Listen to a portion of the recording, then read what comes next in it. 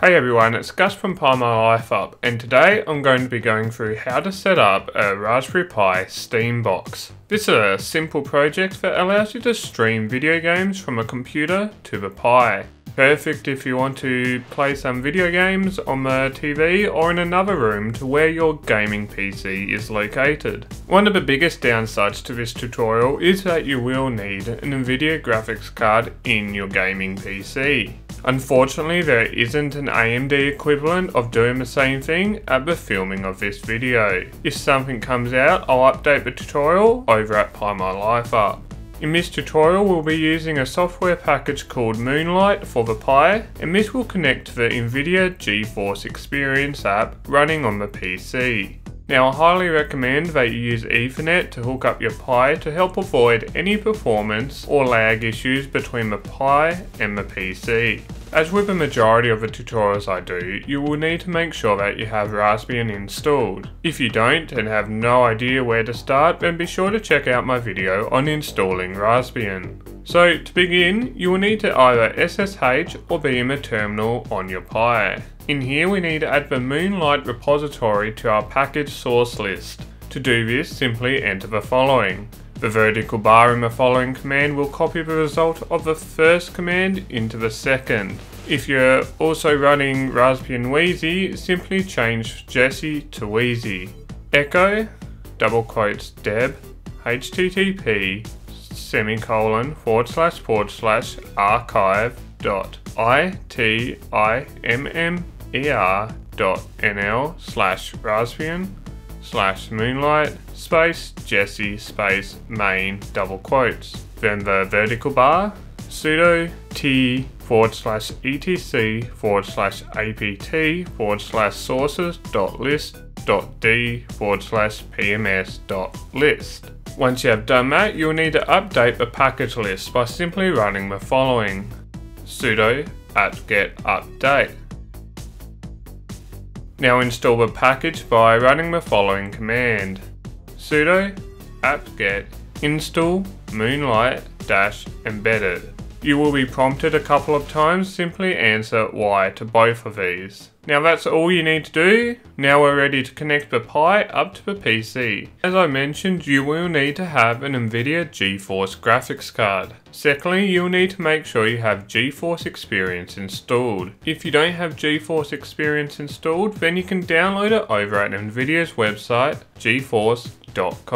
So to begin, make sure you know the IP address of the gaming PC you wish to connect to. To do this, simply go to the command prompt on Windows. This can be found by simply searching for it. In here, run the command ipconfig. Now write or copy the IP address that is in the field next to the IPv4 address. On the Pi, enter the following to pair with the gaming PC running GeForce Experience. Moonlight, pair, then your IP address. In my case it's 192.168.1.105.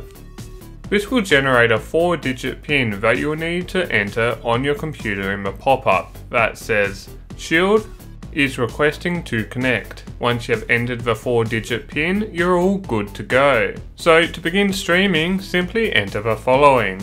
Moonlight, stream, then your IP address. In my case, again, it's 192.168.1.105. As you can see, Steam is streaming straight to the Pi. Now I can simply select a game and play it as if I was at the computer. Now you need to make sure you have a keyboard and mouse or controller connected to the Pi so you can actually control and play the game. Now you may notice the quality of the game is degraded slightly. This is so the stream doesn't lag. You can fix this by tinkering with additional options, but you may find it may start to cause your stream to lag. You can find more details over at Pi My Life Up, but for this video I will just show you a couple of examples of additional options. So when you go to launch Moonlight Streaming on the Pi, there are several options that you're able to add to the command line. If you want to add options, they go after Stream.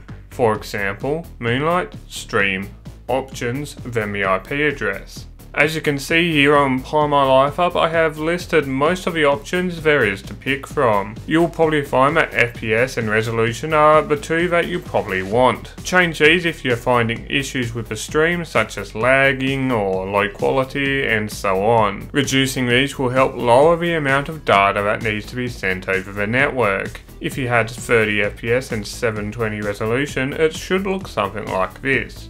Moonlight Stream dash 30 FPS 720 192.168.1.105. If you wanted 1080 then you would change 720 to 1080 for example. If you want to have it launch an app like Steam by default then you should do something like this. Moonlight Stream Dash App Steam 192.168.1.105. Now these are just a couple of examples of what you can do. There are of course additional options that I mentioned before that you're able to add. Now I hope that this tutorial has helped you be able to get games streaming to your Pi. If you come across any issues or have some feedback related to this tutorial, then please don't hesitate to leave a comment below or over at PiMyLifeUp.com. Until next time, have a good one. Looking for more Pi projects to do? Check out these 21 awesome Pi projects that anyone can do. Don't forget to subscribe so you can stay up to date with the latest and greatest projects, guides and much more.